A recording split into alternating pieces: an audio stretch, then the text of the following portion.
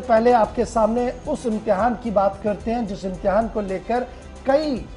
लोगों की नज़रें थी, क्योंकि मामला अदालत तक चला गया था और उसके बाद रात देर गए, हुकूमती इदारों ने भी बड़ा फैसला लिया है। यानी पब्लिक सर्विस कमीशन के इम्तिहान की बात हम कर रहे हैं हुकूमत की तरफ़ से कल रात देर गए ये फैसला ले लिया गया कि पब्लिक सर्विस कमीशन की तरफ़ से लिए जाने वाला आज का इम्तिहान जो है, वो मुलतवी कर दिया गया है पोस्टपोन कर दिया गया है। पब्लिक सर्विस कमीशन के जम्मू कश्मीर एडमिनिस्ट्रेटिव इम्तहान मुलतवी कर दिए गए हैं। मुश्तरका इम्तिहान मेंस के लिए तेरह मुबसरीन की तैनाती भी हुई थी, लेकिन अदालती अहकाम के बाद कल ये बड़ा फैसला लिया गया कि जनाब, ये इम्तिहान जो आज से शुरू होने वाला था 10 मार्च से जो शुरू होने वाला था, इसे फ़िलहाल मुलतवी कर दिया गया है। ये इम्तिहान मुख्तलिफ़ इम्तिहानी मराकज में 10 मार्च से 17 मार्च 2022 तक मुनद होने वाले थे और उसके लिए तेरह मुबसरीन भी तैनात करने की मंजूरी दे दी गई थी। पब्लिक सर्विस कमीशन की एक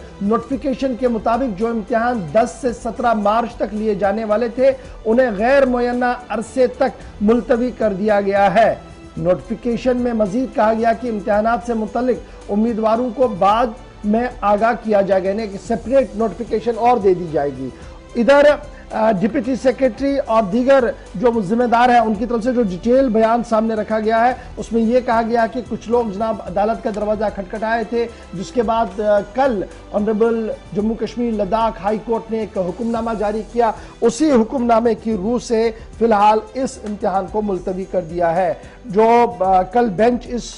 मामले की सुनवाई कर रहे थे, जस्टिस धीरज सिंह ठाकुर, उन्होंने पुराने ऑर्डर को मॉडिफाई करते हुए छह पेटिशनर्स जिन्होंने दरख्वास्तें दी थी, उनकी दरख्वास्त को मंजूर करते हुए उन्हें दोबारा इम्तिहान में देने की बात कही थी, जिसके बाद आज इंतजामिया ने यह फैसला लिया, रात भर रात को फैसला लिया कि आज से 17 मार्च तक जो इम्तिहान होने वाले थे पब्लिक सर्विस कमीशन के, उन्हें फ़िलहाल गैर मुयना अरसे के लिए मुलतवी कर दिया गया। क्या यह पहला मौका है? तो याद रखिएगा, इससे पहले भी